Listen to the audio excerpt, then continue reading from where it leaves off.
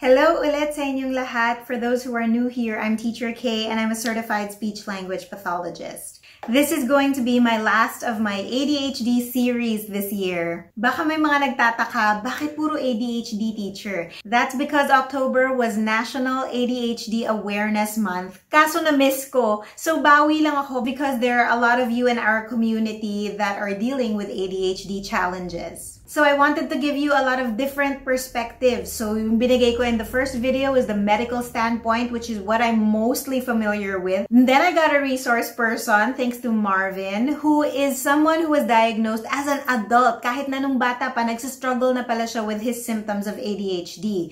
And the most important part is always, what do we do next, diba? How do we move forward? So in this video, Marvin shares the answer to two of the most frequently asked questions na natatanong dun sa mga ADHD forums kung saan nabibilang siya. He's also going to give his top six tips, six of the first steps that you can take when you or your loved one find out that you have an ADHD diagnosis. Kaya tara, usap tayo.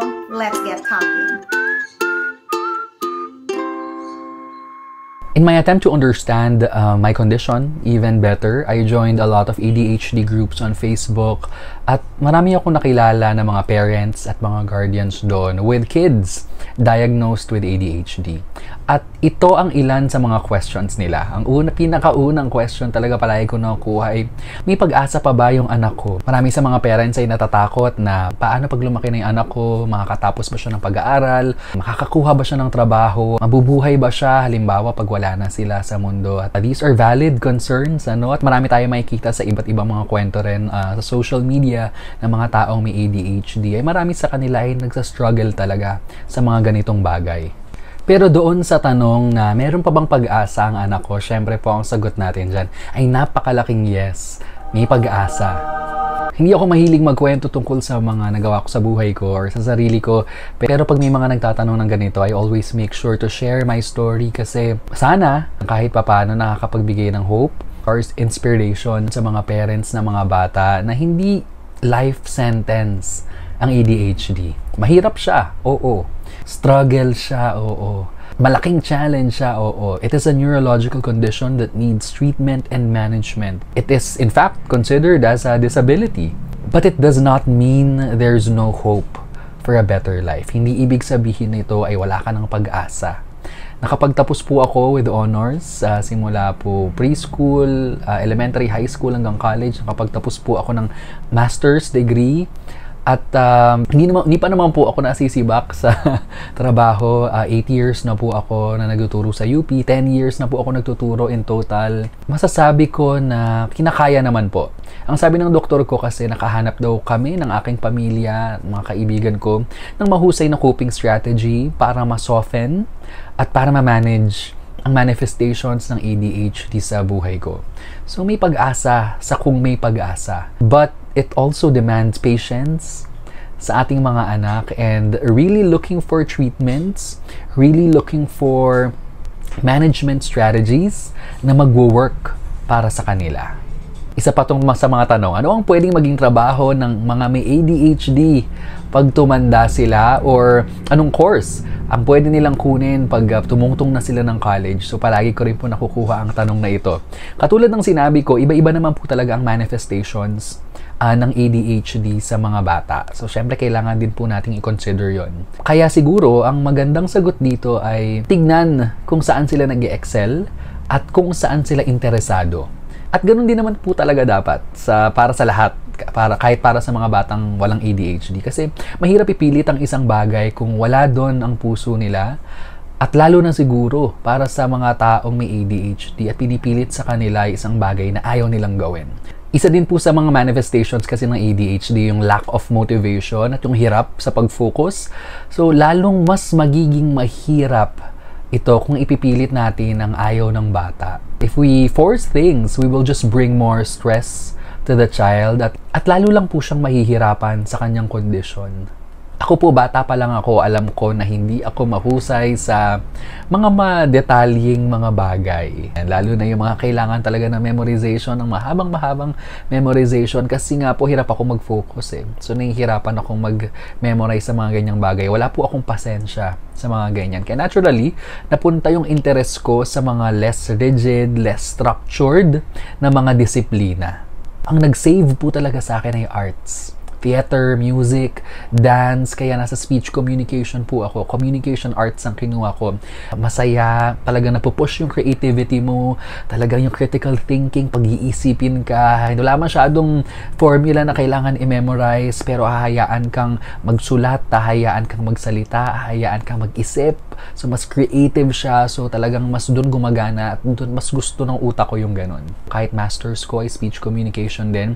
At kung titignan yung grades ko, medyo struggle po talaga ako dun sa mga subjects na kailangan mag-memorize talaga. Kasi syempre, kailangan ko pa rin naman uh, mag-sciences, eh. kailangan ko pa rin naman mag-math na mga subjects. Pero konti lang, at least, di ba? At kaya ko. Kaya nakakaya ko. Kasi gusto ko siya. Hindi ko pinipilit ang isang bagay na hindi ko naman gusto or wala akong interest. Kaya kahit na medyo may pangarap akong dati maging doktor o abogado, hindi ko na pinush kasi alam kong hindi ako sasaya doon at hindi ko mapagtatagumpayan yon kasi hindi ko kaya at hindi yun ang interest ko. Here are some tips to help guardians, uh, parents of kids with ADHD at para na rin sa mga individuals living with ADHD. Una, sabi ng doktor ko, for a number of reasons, yung parents talaga ang nagiging minsan dahilan kung bakit hindi na diagnose ang kids dahil in denial sila. In denial that their kids have a certain condition. I'm not a parent, so hindi ko po alam kung ano yung pakiramdam at syempre hindi ko naman kayo hinuhusgahan but I suggest the moment na mapaisip kayo na parang meron kayong napapansin sa anak ninyo or sa inaalagaan nyo na iba sa ibang mga bata or sa karanasan ninyo, huwag na magdalawang isip na ipacheck siya sa isang profesional. Wala pong masama dito. Sa, uh, in fact, ito po ang tamang gawin. Kung wala siyang kondisyon, edi maganda uh, at least sigurado po tayo na walang walang kondisyon na kailangan pagtuunan ng pansin. Kung malaman naman natin na meron siyang kondisyon, eh di maganda rin kasi malalaman natin ang tamang intervention at malalaman natin kung paano ba talaga dapat nating uh, mas maalaga ang mabuti ang ating mga inaalagaan. Ang masasabi ko lang po ay ang tanging pagsisisi ko sa buhay ko ay sana mas maaga akong humingi ng tulong sa professional. Sana mas maaga akong nagpa-consult. Sana mas maaga akong nagtanong tungkol sa mga struggles ko at sa mga nararanasan ko. Kung mas nagtanong lang ako ng mas maaga, sigurado ako na less ang aking paghihirap, less yung mga challenges kasi mas alam ko na kung ano yung meron ako at mas magagawan ko na to ng paraan. Kung mas maaga sana ako nagtanong sa doktor, ay mas maaga ako naka-receive ng treatment. Ang dami kong bagay na tiniis na hindi ko alam na hindi naman pala pinagdadaanan ng mga ibang tao dahil wala silang ADHD. At yun ay dahil hindi ko rin alam na may ADHD ako. Pero ngayon, at dahil alam ko na na may ADHD ako, may nasisisi na ako. Hindi ko na nasisisi yung sarili ko. At meron na akong alam na rason kung bakit ako ganito. At dahil doon, sa de-detach sa akin yung experience at hindi na yung sarili ko yung sinisisi ko. At dahil alam ko na meron namang rason, magagawan ko na siya ng paraan. Kaya masasabi kong mas naging mas confident ako, mas maging mas naging mas komportable ako sa sarili ko, mas nalaman ko kung ano yung mga strengths and weaknesses ko nung nakilala ko yung sarili ko. At hindi mangyayari yan kung hindi ako nagpa-check up. Hindi mangyayari yan kung hindi ako nagtanong. Hindi mangyayari yan kung hindi ko inusisa yung mga experiences ko. Baka habang buhay akong nangangapa at nahihirapan dahil hindi ko alam na may condition ako. Pangalawa, huwag pansinin ng mga taong judgmental. Ako marami talagang mga ganyan. Huwag nating bigyan ng halaga yung mga pintas o yung mga masasabi nila. Wala po nakakahiya sa pagkakaroon ng ADHD. Wala nakakahiya sa pagkakaroon ng kahit anong kondisyon dahil mga tao po tayo. Lahat po tayo ay may iba't ibang mga pinagdadaanan. Meron iba't iba tayong mga kondisyon. Ang mga conditions na to ay dapat binibigyan ng oras at dapat pinagtutuunan talaga ng pansin. Again, walang nakakahiya sa pagkakaroon ng ADHD. Walang nakakahiya sa pag-aalaga sa ating kalusugan, sa ating health, physical man yan, emotional or mental health man. Pangatlo, I suggest uh, that you look for a doctor that you are comfortable with. Talagang uh, tinatrust nyo po yung hindi ka mahihiya uh, o matatakot magkwento. May doctor, um, hindi ko siya kilala noon eh, pero first time namin nagkakilala noon ng diagnosis ko. I'm so fortunate that my doctor really specializes in ADHD, kaya okay talaga ang experience ko sa kanya. And I'm very happy with the interventions na pinropose niya at nirecommend niya. At syempre, sinusunod ko naman, napaka-importante din nun. Um, yung uh, doktor na paniniwalaan talaga, itatrust mo talaga. Kaya tiwala ako, kaya komportable ako. At napaka-importante po nung relasyon na ganun, that relationship of trust ninyo at ng doktor ninyo.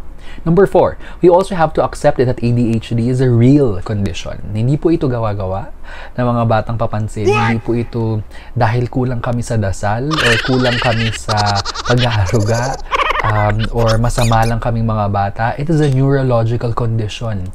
It is considered as a, disability.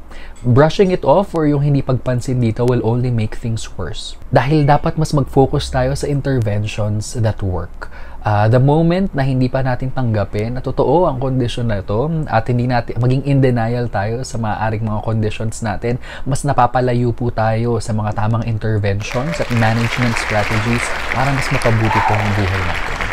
Number five ay join communities. Naku, napakarami niyan sa social media, sa Facebook, sa YouTube. Dito nyo po makikita yung mga tao na nararanasan din yung nararanasan ninyo or nararanasan ng mga anak ninyo. May kilala nyo po sila. Katulad na lang po ng channel ni Teacher K. Ano? Napakagandang step po para sa inyo, para sa inyong mga inaalagaan. Marami tayong matututunan sa mga karanasan ng ibang mga tao. If you join communities, you will realize that you are not alone. And You don't have to struggle alone. Hindi mo kailangan pasanin ng lahat ng iyan ng mag-isa dahil marami kang marami nakakaintindi sa inyo, maraming dumadanas din ang nararanasan ninyo. Dalawang bagay lang 'yan. Kung hindi ka mai inspire sa kanila, sila ang mai inspire sa iyo.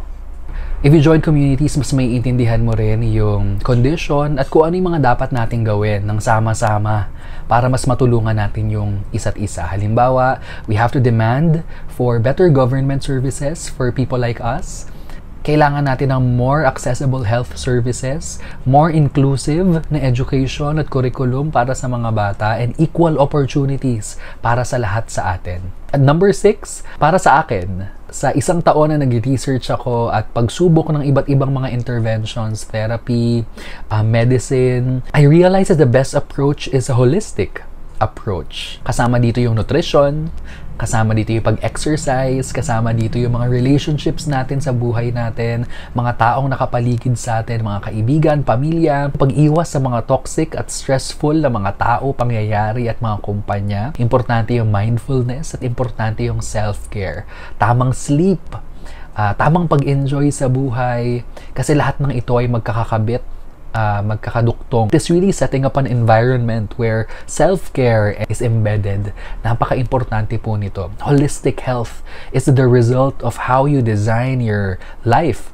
Kaya nagsimula na rin po akong ayusin yung buhay ko at hindi lang basta nagme-meds ako, hindi lang basta nagpapa-therapy ako, ay okay na yon Dahil ang lahat ng ito ay magkakaugnay at lahat ng ito ay dapat pinagtutuunan natin ng pansin. To all the parents of ADHD kids out there or kung ikaw mismo ay may ADHD, you deserve to live your best life. And you have the ability to achieve that. May pag-asa. Kaya mo at deserve mo yan. Thank you. Thank you po.